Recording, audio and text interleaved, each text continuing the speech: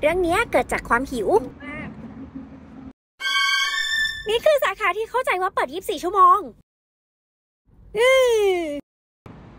สาขาอื่นอีกสาขาที่ map บอกว่าเปิด 24 ชั่วโมงก็ไฟมืดสนิทจนมาเจอสาขานี้ jingle bell jingle bell วู้เนี่ย มื้อแรกของวัน แก้วเนี้ยของตัวเอง อืม น้ำส้ม เขาน่าจะตั้งใจให้ออกมาเป็นโทนสีพาสเทลใสๆแน่เลย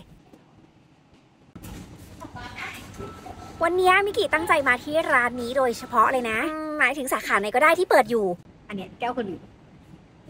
รู้สึกน่าสนุกแบบยังบอกไม่ถูก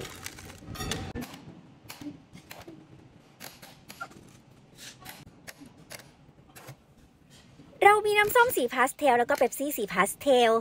สวยๆอืมใช่แน่เหรอนิกิว่าเมื่อกี้น้ำส้มสีมันอ่อนไปนะ เดี๋ยวเรามาเพิ่มสีกันดีกว่าล้อเล่น ตอนนี้ให้ความรู้สึกเสมือนอยู่ที่ญี่ปุ่น เพราะว่าช่วงคริสต์มาสคนญี่ปุ่นจะชอบสั่ง KFC มากินที่บ้านกัน แล้ววันนี้ก็คริสต์มาสพอดีชื่อเบอร์เกอร์อะไรก็ไม่รู้แล้วก็มีไก่อีกสองชิ้นแต่ว่าเขียวหวานไก่ไก่ไก่ไก่ไก่ไก่ไก่ไก่ เมนูนี้มิกิก็เพิ่งลองกินนะ ถือว่าใช้ได้เลยโอ้แล้วก็ใช้ได้สำหรับเนอะคนที่ไม่กินเผ็ดอะ เมนูนี้รอด wing แซ่บถึงจะเป็นคนที่ไม่กินเผ็ดแค่ไหน แต่ว่ามาแล้วก็ต้องไม่พลาดเนาะ